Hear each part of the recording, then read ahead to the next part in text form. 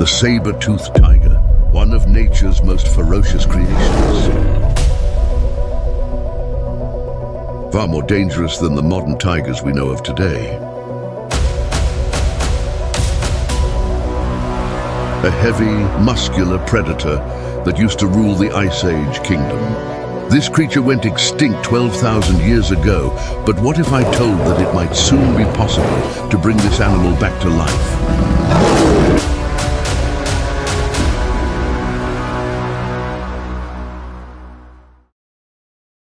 What would happen to us and our modern world if the saber-toothed tiger was brought back from extinction? This is exactly what we'll be answering in today's video. You are currently watching Panthera, where I strive to help you discover nature's biggest secrets and questions. Thank you very much for watching, and I hope you enjoy.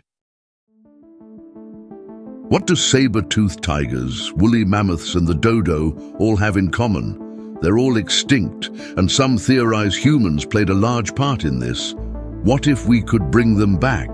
Is it scientifically possible? Soon, this might not be hypothetical, as science is getting closer to bringing extinct animals back. Known as de-extinction, it's the process of bringing extinct animals back from the dead. One of the ways this could work would be using the DNA from extinct species and fusing it with its closest animal relative currently living today. One of the animals that scientists say is eligible for de-extinction is the saber-toothed tiger.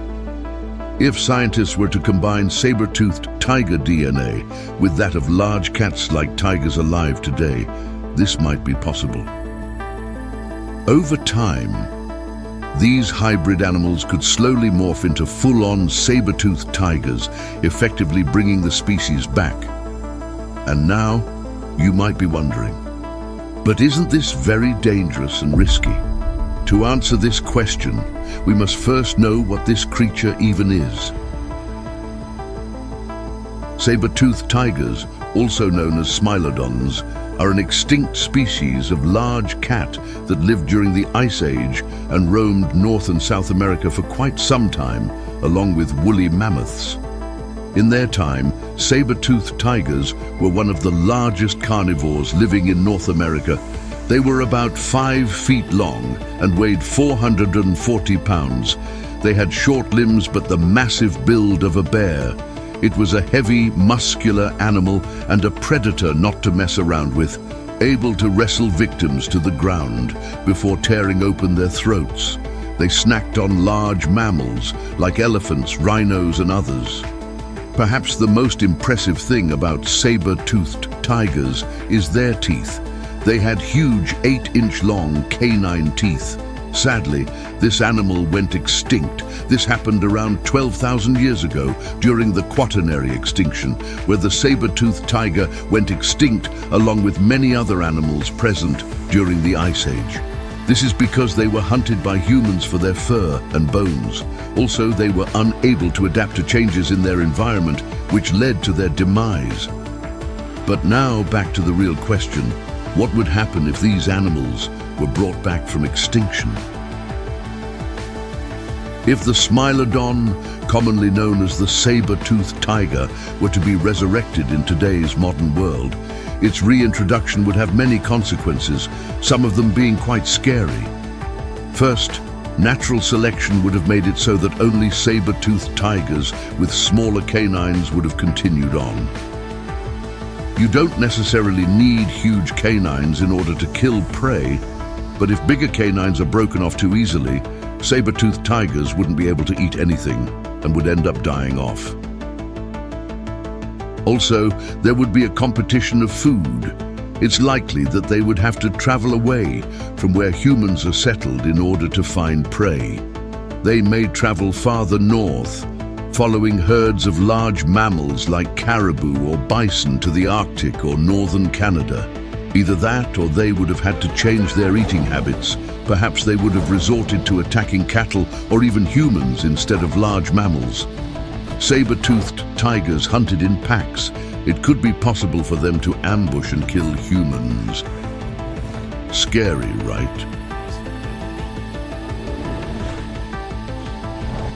That being said, humans are the dominant predator. If this animal was brought back to life, it would probably be protected. But maybe after some time this would stop, and if these creatures weren't protected, humans would use the fur of saber-toothed tigers for clothing, and perhaps even eat their meat. They would be revered by royalty. We would see them featured in royal portraits of kings and queens. On the other hand, if the saber-toothed tiger was brought back, maybe not much would change. There are other species of large cats in North America, like cougars. It would just casually be another cat in the area. But wait, what exactly is the point of all this? Sure, being able to have saber-toothed tigers as pets or ride a woolly mammoth would be amazing, but is it really worth it? What kind of purpose are these animals serving other than the sake of our entertainment? And there exists the possibility that these new animals would disrupt the current ecosystems we have today, leading to other animals going extinct because of them. One good thing de-extinction could do is bring back essential animals we have today that might become extinct. Bees have long been talked about as a species that may go extinct relatively soon. If de-extinction technology is finally realized, maybe we'll never need to worry about it happening. But that also raises some concern. If that was our reality, people may think it was okay for things to go extinct since we could always bring them back.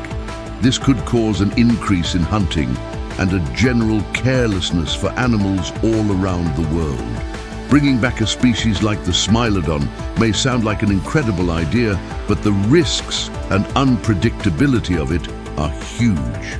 So, what do you think? Should we bring back the one and only saber-toothed tiger?